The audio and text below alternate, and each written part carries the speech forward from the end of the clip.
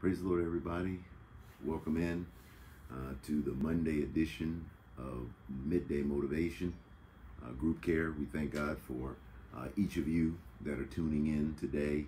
Uh, we're excited about what we're going to be uh, discussing in the month of June. Today being the first day of June, uh, we're kicking off um, a series of, of lessons over the next five weeks and um, really enthusiastic about it. Uh, just asking as you come in, if you wouldn't mind just taking a moment to uh, share that word that uh, represents, encapsulates, symbolizes your mental state or how your day has been going thus far. And then also take a moment to hit that share button. Well, we appreciate everybody who is uh, being proactive and, and hitting share. And I think you're starting to get the feedback from those that you're sharing with that they appreciate you thinking about them. So we encourage you to take the time to share, and we also take you to, encourage you to take the time uh, to uh, drop that word that represents your mental state or how you're feeling. Uh, and the reason that's important is because, uh, as we said, this is group care, and so we come together, and it's an opportunity for us uh, to be able to, with just one word, be able to check in on one another and know kind of where we are and where we stand. It, it's it's just a, a shortcut way of uh, being able to get to the essence of what's happening. So what I would encourage you to do is be honest and transparent so that we would know exactly how things are uh, going with you. We know that we're living in challenging times right now, and so there are a lot of people um, that are probably going to be expressing uh, a number of emotions, whether it be exhaustion, confusion, uh, disappointment, anger, concern. Um, these are all real emotions. And as humans, we're not going to tell people that they can't have emotions. Uh, but since this is group care, it's our responsibility to make sure that we um, take the time uh, to check on one another and make sure um, that we're doing all right. Because um, not being all right, um, it's okay, but you don't want to be uh, um, feeling like you're not all right all by yourself. You really do need people uh, checking in on you and, and, making sure that you're feeling all right. So, um, my word today is optimistic. Uh, I, I, would like for uh, us to kind of dig in and kind of see how things are, are, are going with each other. So, before we have our prayer, again, if you haven't already, take a moment to drop that word that represents uh, your mental state or how your day's been going so far, and then also take a moment to hit that share button uh, so that we can uh, make sure that everyone who uh, should be uh, joining us for group care uh, is joining in. All right, so knowing that there are a lot of um, different mental states, different um, feelings of emotion right now, let us be prayerful. And so let us pray. Heavenly Father, in the name of Jesus, we thank you. We thank you, God, for blessing us to have one more opportunity to come together. Lord, we don't take it lightly that uh, virtually we're connecting from all over the country and all over the world in a group of people who care about you and care about each other. Lord, guide us today. And hopefully, what we are going to talk about and what we're going to learn about is going to help facilitate uh, some of the changes that we're going to encounter. Uh, and so, Lord, right now we're asking that you would bless each of us uh, in our mindset. Lord, we know that you're able to refresh our mind. So, even right now, if things are seen to be going in the wrong direction. We don't feel enthusiastic. We're not encouraged. We're a little disappointed. We may be angry. We may be exhausted, whatever it might be. Lord, we're just asking that you would reboot us right now. Allow us to, whatever it is that is bothering us, uh, can we just put it aside for a moment and allow you to work on it in the background while we tune in and engage in group care? Lord, allow us to be able to be fully intent and intentional as we focus in on what we're going to talk about today, even for just the next 20, 25 minutes, Lord. Help us uh, that we would be fully uh, present, fully engaged, uh, that you would be able to bless us. And it is also our prayer that when we do end this uh, time together, that we're going to be better for it. And we're going to be able to see a clearing of our minds. And this we ask right now in Jesus' name we pray. Amen. Amen. So we um, we thank God for uh, what He's doing, and we thank God for the the lessons we uh, dealt with last month uh, for Mental Health Awareness Month, and which you'll find that everything that we're going to be dealing with uh, going forward uh, still has some component uh, that deals with our mental health. Because at the end of the day, the battle that we're fighting is in our mind oftentimes. We know that uh, oftentimes we want to point fingers at people, uh, but God made it clear that we're not warring against flesh and blood, uh, but against principalities and powers, spiritual wickedness in high places. And so it is uh, our responsibility uh, to figure out how to leverage the spiritual weapons that God has given us, that we might bring down the strongholds and those things that would work against the kingdom of God and God's people. And so, as we pointed out last week, our curriculum for uh, the month of June is going to be spread over these next five weeks. So today, which is the first week of June, uh, we're dealing with uh, the, the, the concept of dealing with change. Uh, then next Monday, uh, the week of June 8th, we're going to deal with staying engaged and motivated. Uh, then on the week of June the 15th, we're going to deal with countering negativity. And then the week of June 22nd, we're going to deal with managing stress. And then lastly, on the week of June 28th, we're going to deal with effective communication. Now, the reason these topics were, were chosen in part uh, was because many of you are um, mo moving back into the uh, workplace uh, after having been in quarantine for the last couple of months and so now your employers um, may have been bringing it into um, to the work uh, remotely situation or at least exclusive remote work. And so many of you are being tasked with the responsibility uh, of going back into these physical uh, places. And so I thought it appropriate uh, that as we kick this off uh, that I'm actually working um, today uh, for my office here at Made in Memphis Entertainment. This is my office um, and uh, just so many of you who don't know, uh, who may be uh, remote, uh, that in addition to pastoring Faith Christian Church, uh, I co-founded and I'm the president and managing director of Made in Memphis Entertainment, which is an entertainment company that has a variety of operating businesses, um, uh, from music recording studios to um, um, music distribution to a record label um, and then music publishing companies, including Synchronization, which is you know uh, licensing music for film, television, and advertising, games, and and, and trailer music. Um, and so uh, I'm in this work environment. I, I want people to know that um, I understand what it's like to go to work um, and to have to put in uh, and deal with the challenges of being in a corporate environment. And, and so what we're going to deal with uh, this week uh, in our discussion of dealing with change, uh, I just kind of give you a roadmap of where we're going. Uh, today, we're going to deal with the obstacles of change.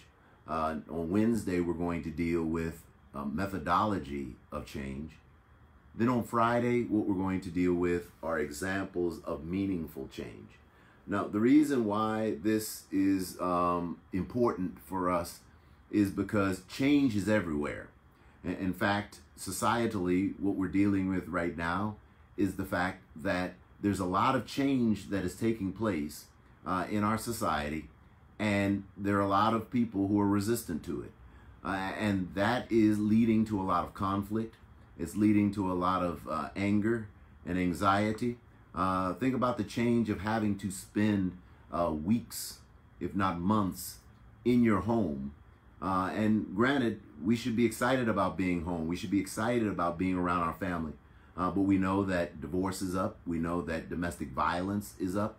We know that uh, just domestic uh, abuse, period, is up. And that's a function of people having to change um, based on the pandemic. But unfortunately, many people resisted change. Uh, they were not willing to adapt uh, to the things that were happening. And so now, as uh, people are trying to go back out and interact, they're having to adapt to the fact that many of the things that they could do before uh, the pandemic, they can't do now. Uh, just walking into a, a, restaurant and having a meal and, and, and whatever they would do, it's not as easy as it used to be. Walking freely uh, into a store isn't uh, the same as it used to be. And so a lot of things have changed and they changed without our awareness. Many things changed without our input and many things changed without um, even taking us into consideration. And the reality of life is things do change.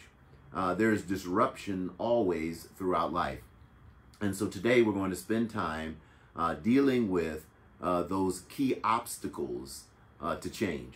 But before I, I, get into the details of that, if you wouldn't mind, if you are just coming in and just tuning in, take a moment to um, drop that word that represents your mental state. Uh, also, take a moment to click that share button uh, to make sure uh, that you invite those in that could benefit from what we're going to talk about today. So we know that uh, for those who are starting back uh, in the physical workplace, you've been working remotely. So we're not saying you weren't working, but you were working remotely.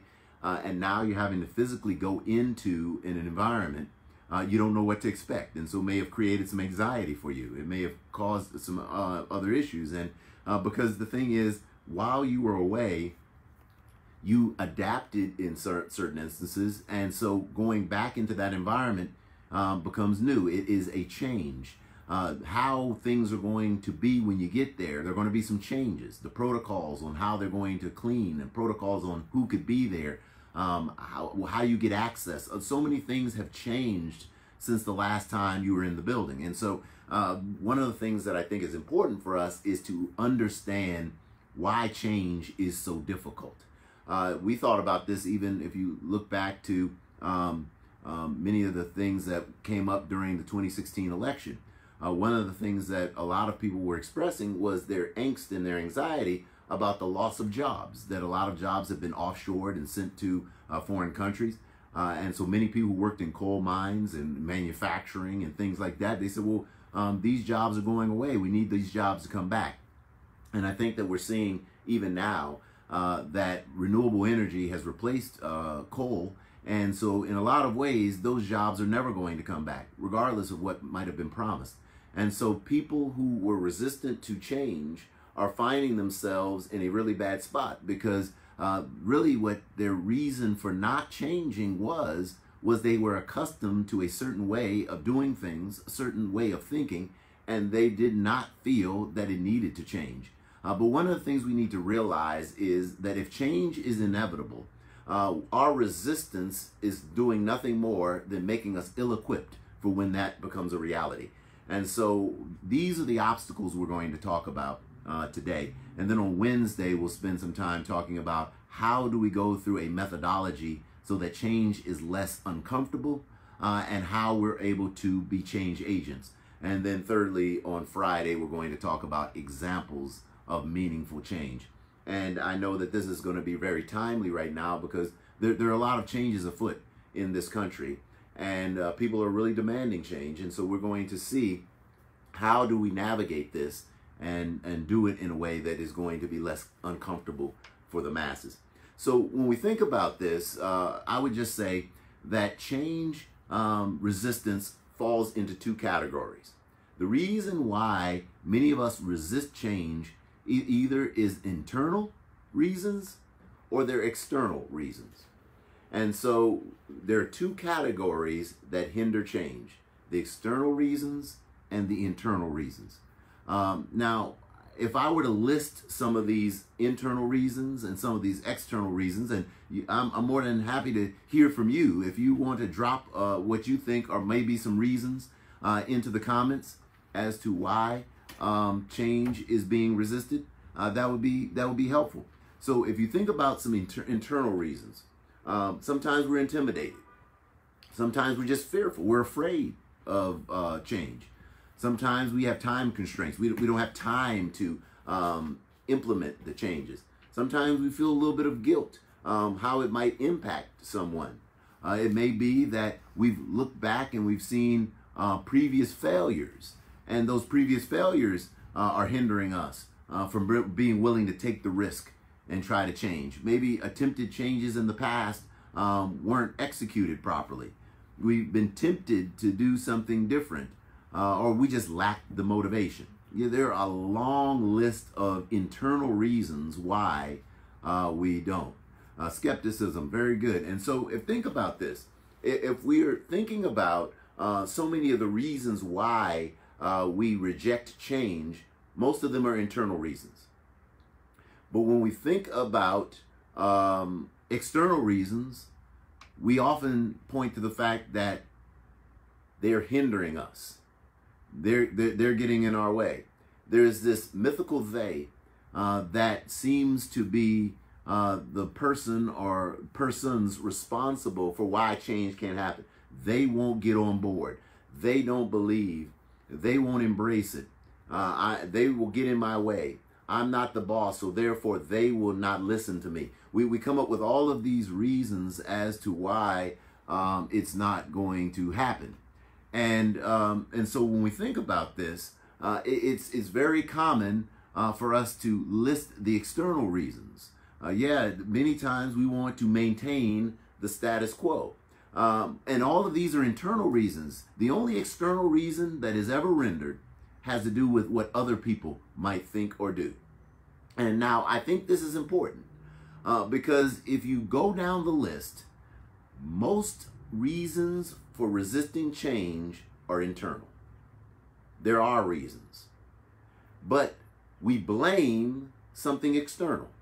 And this is why it's such a challenge, is because if we're constantly blaming them, they, or others, but when the rubber meets the road, it's really something going on in us that's hindering uh, going forward, then now we understand and why we're going to spend quality time really getting into the details of it on Wednesday is that there is a methodology of getting ourselves past these uh, objections and hindrances. And there's also ways of enlisting others to get on board as well so that we can have meaningful and lasting change. This is, can only be possible uh, when we first come to grips with the fact that 99% of the resistance to change is going to be taking place in our own minds. That these are internal justifications for maintaining the status quo, internal justifications for not moving forward with change. We're always asking for change and we're saying, I wish somebody would.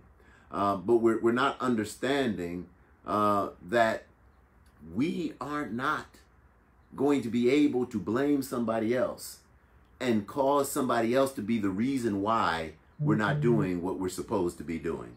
So I would challenge you today is to think about this. List some reasons, and I guarantee you the vast majority of the reasons that are legitimate are internal. But the reasons that we put forward as the scapegoat, the reasons we put forward as justification, the reasons we put forward as excuses are essentially external even though there's only really one external reason, and that's somebody else.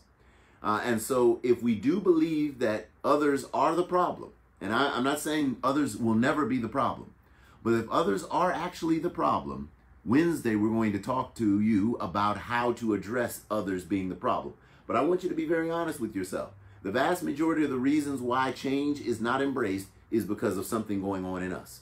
And once we come to grips with that and we're willing to change ourselves, it is easy to enlist others. And so I just want you to see that. I want you to understand that. I want you to embrace that.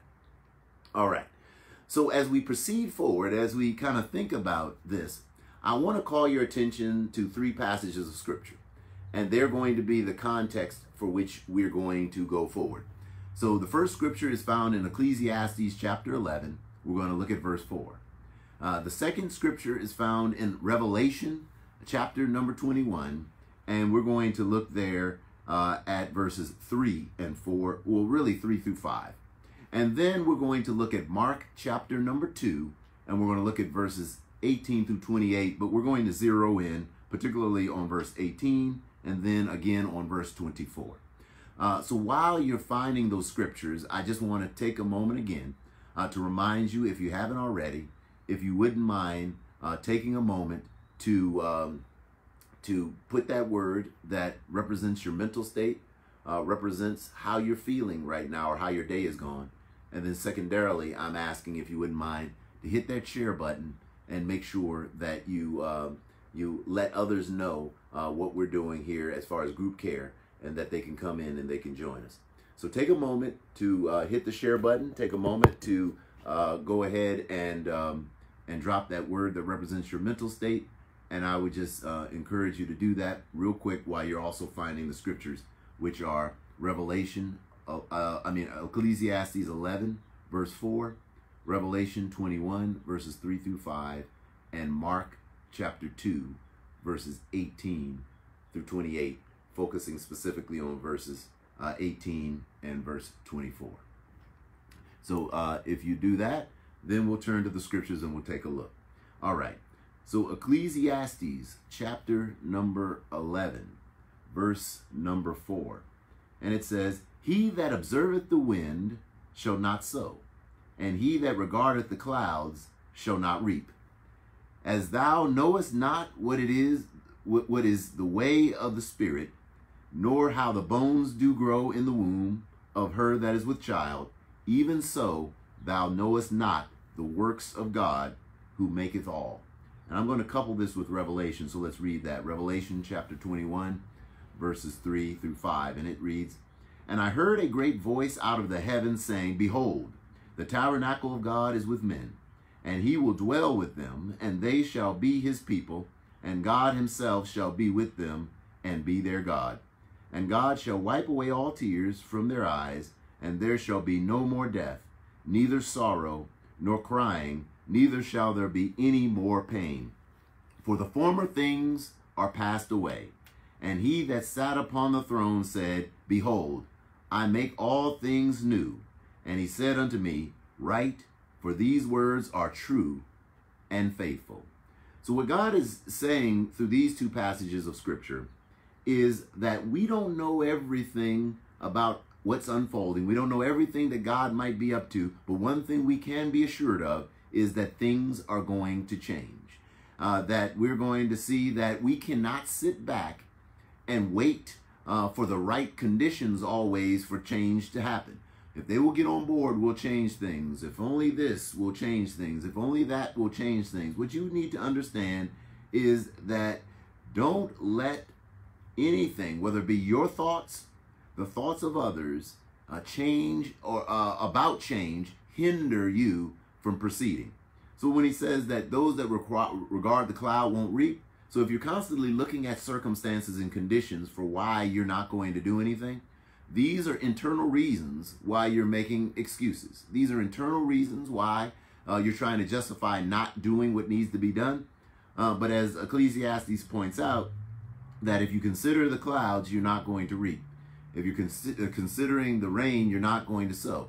If you're worrying about conditions, conditions are going to always be a justification for you not uh, getting involved and engaging in meaningful change. And so, what I would encourage you to do is to understand that God is saying change is inevitable. In fact, Revelation tells us that He says that all these former things are passing away. You're going to have to realize that society progresses, things are going to change, and you're going to have to adapt to change. Because if you don't adapt to change, it is going to cost you. That's why you have people right now walking around with a VHS tape trying to figure out where they can play uh, movies. Or they, they remember they're driving around with a car with an eight track tape. These are things that are no longer inevitable, uh, are things that are no longer viable. Uh, that most cars now don't even have a CD player. We have experienced a significant amount of change, and that is in the natural. There are a lot of things also changing right now in the spiritual realm. Now, let me say this God's word does not change. But what God will do is he will disrupt our normal because then oftentimes we get complacent when we get accustomed to the status quo. And so change is inevitable. Change always comes. We have to overcome the objections to why we are resisting uh, change. Which brings us to that last scripture that is found in Mark chapter number 2, um, I'll read verses 18 and 24, and then I'll kind of narrate this for you for a minute. So in uh, chapter uh, 2 of Mark, verse 18 says, And the disciples of John and of the Pharisees used to uh, fast, and they come and say unto him, Why do the disciples of John and of the Pharisees fast, but thy disciples fast not? Let's skip down to verse 24. And it says, And the Pharisees said unto him, Behold, why do they on the Sabbath day that which is not lawful? So what happened was uh, the Pharisees and the disciples of John, uh, they were finding fault in what uh, what Jesus was doing. And first they said, uh, why aren't they fasting? We used to. And if you look at verse 18, the word used to or the words used to actually means we're in the practice of or accustomed to. Now, this is very important for us to see because to say that we're in the practice of or we are accustomed to uh, is not a valid justification for why things shouldn't be done differently. But let me just be honest. The reason why many of us do what we do and the reason why many of us reject anything that would deviate from that is because we've become accustomed to it being a certain way. Uh, we have gotten into a practice or a habit of doing it a certain way. Uh, the story that I've used many times in the past to kind of remind us of this fact is you, you remember there's a there's a situation where um, there, there was a, a, a, young lady who um, had been um, know, cooking and, and they're having this big Thanksgiving dinner. They're bringing the family over.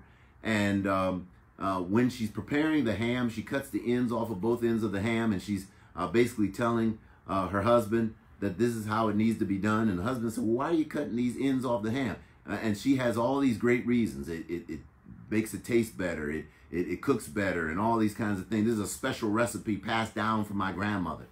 And it just didn't sit well with her husband. And so what ended up happening uh, was that she said, well, look, my grandmother's going to be here uh, at Thanksgiving. We'll just ask her.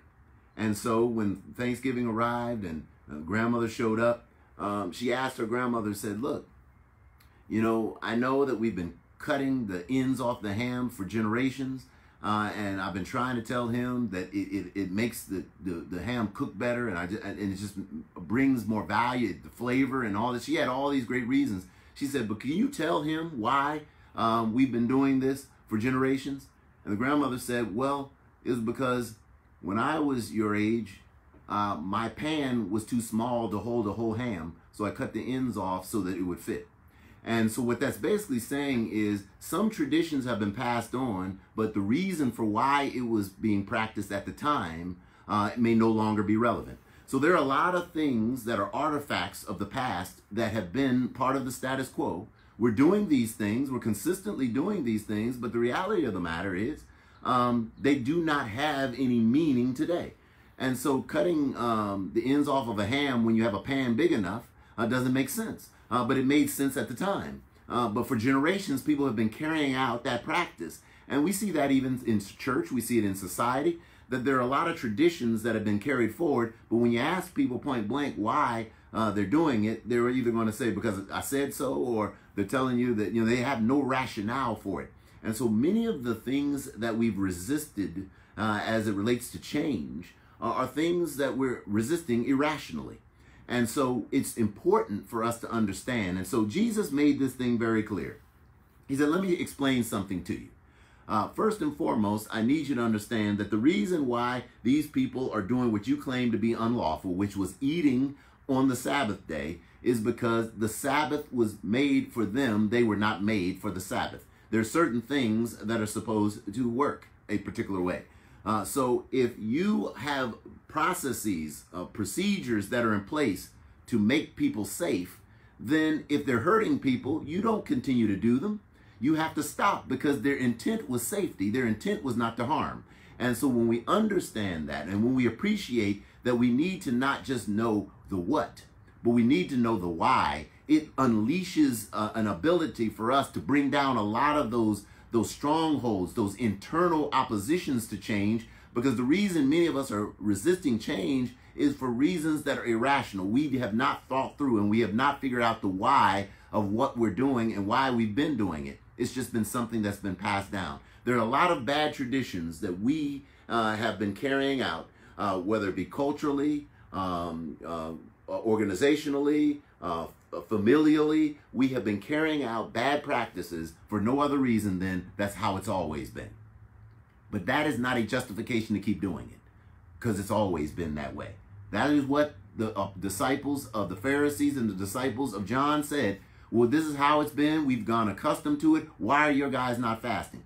And Jesus had to give them clarity, had to let them know that this is why. And once you know why, it brings down a lot of your internal objections. And so the why here, uh, Jesus made very clear.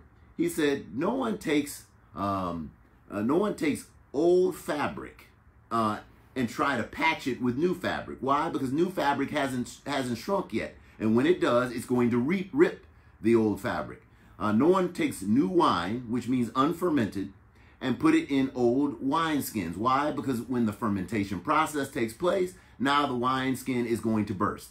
And so what he's saying is that I did not come. This is Jesus talking because Jesus was a change agent. Jesus was one that was innovative in a lot of ways. Jesus basically said, look, I didn't come to put patches on Judaism. I didn't come to try to patch up the law and, and make it more effective.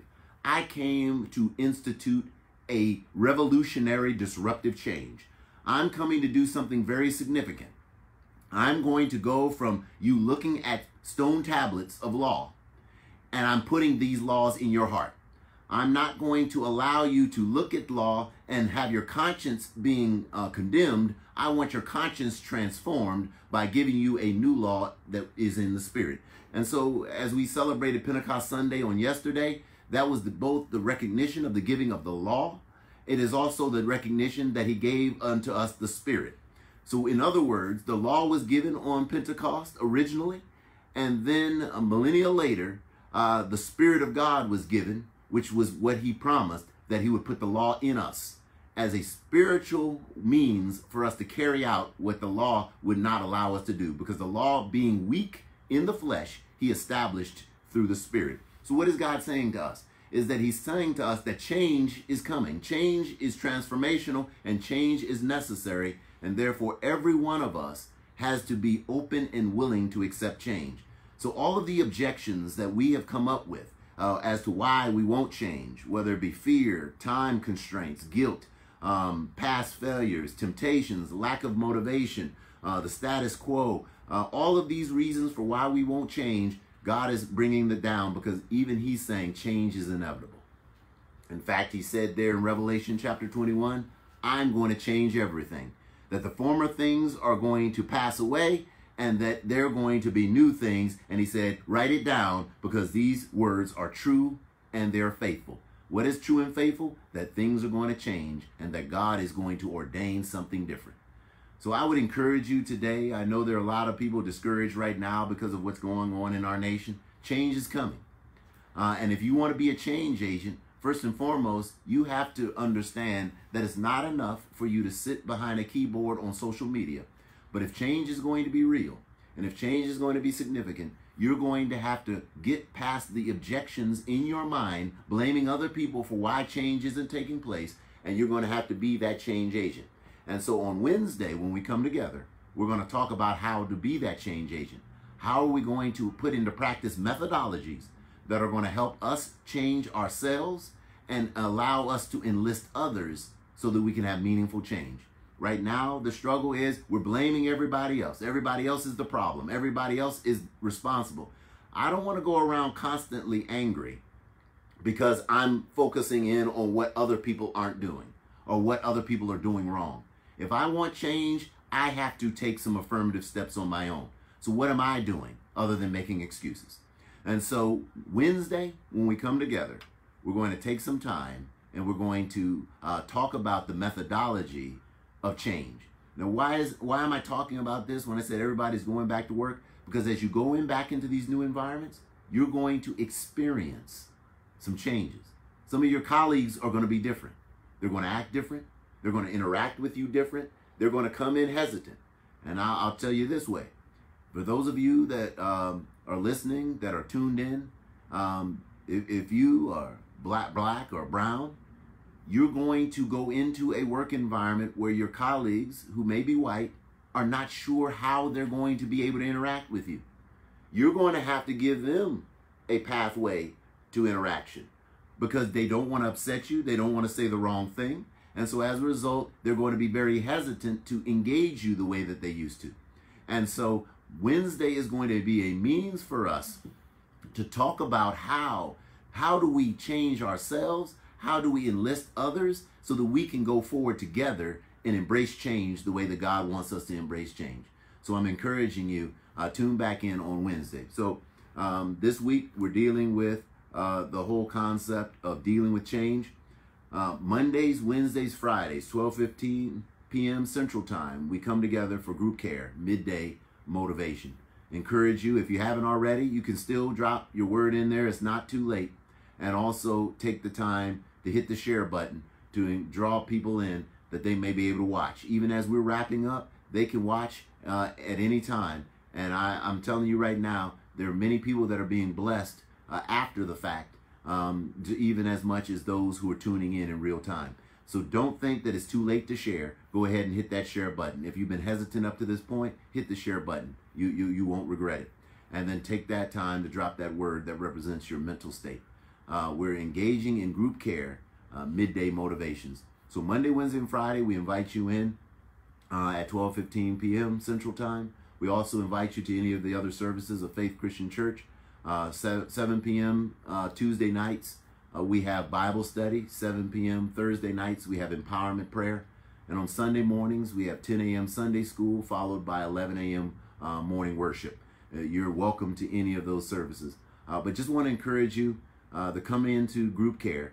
It's good to do self care, it's good to take care of yourself, but there's nothing like group care. God wants us to come together, and this is a perfect time uh, for us to come together. So God bless you. We thank God for all of you. So as we get ready for this um, closeout prayer, what we're going to pray for are those that are in leadership, uh, those that are making the decisions uh, politically, governmentally, those that are making decisions corporately, uh, those that are making decisions uh, in the spiritual realm. We want to pray for these leaders. We want to understand uh, that we recognize uh, that, that, that this is uh, unprecedented times, and and that those that are in leadership are facing challenges that no one uh, uh in this lifetime have faced before, and we understand that, and so we want to give them uh, an additional ounce of mercy, but at the same time, we want to pray for them that they would get revelation, knowledge, and wisdom to make sure that they're making the right decisions for the benefit of all of their constituents, not just a segment uh, but all of their constituents. This goes for all of those. Uh, and so let us look to God right now in prayer. Heavenly Father, in the name of Jesus, we thank you. We thank you, God, for giving us this occasion to come together. We thank you, Lord God, for the power and the tool that you've given us through prayer. We're coming to you right now, Lord God, petitioning you, asking that those that are in governmental and political leadership, those that are in corporate leadership, Lord, as well as those that are in spiritual leadership, will use wisdom, Lord God, to do what is in the interest of every single one of their constituents, acknowledging that change is coming, that change is on the horizon, and that uh, they can either leverage that change and be change agents, or they can be overrun by the change that will take place at the grassroots, whether it be political um, resistance, or whether it be corporate um, resistance, or whether it be spiritual resistance we're asking right now, God, that you would help leaders to recognize uh, that they are to influence, they are not to lord over. So, right now, God, encourage those that are in political positions to make sure they're taking care of the least amongst them. Those that are in corporate positions that are doing more than just take care of those that are in, in the executive suite, uh, but also those frontline workers that they're looking out for their safety and their well being. Lord, also bless those that are in spiritual leadership that they're looking out for every soul, uh, both within and outside of their ministries.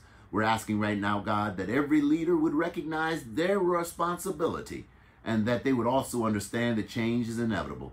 Let us all get in tune with the Lord and Savior Jesus Christ, who is the change agent, the one who has told us to write these words down because they're true and they're faithful, that those things that have been the past that we've become accustomed to will pass away and that he's going to do a new thing in our midst. And we're looking forward to it and we want to be a part of it.